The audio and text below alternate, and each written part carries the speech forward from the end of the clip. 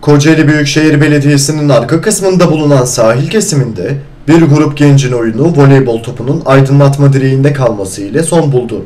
Gençler o topu metrelerce yükseklikte bulunan direkten almak için elinden gelen her şeyi yaptı. Farkına varmadan kendini tehlikeye atan bir gencin Örümcek Adam filminde olduğu gibi direğe tırmanması ise herkesi endişelendirdi. Metrelerce yükseklikte kalan topu kurtarma çalışmaları ise uzun süre devam etti. İşte o anlar bu şekilde kayıt altına alındı.